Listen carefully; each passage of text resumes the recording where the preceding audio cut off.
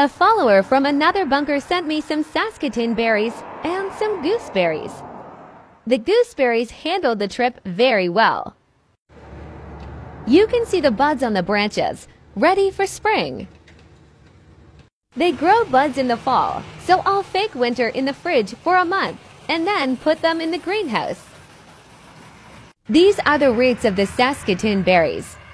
It's best transport most trees and bushes bare root so long as you can keep the roots moist. These plants dried out a bit in transit and the leaves turned brown, but the buds look healthy. I'm really excited to add more perennials to this garden so that it produces more food with less effort. If you want easy food that saves time and money, berries are definitely the way to go. There you have it. See you next time.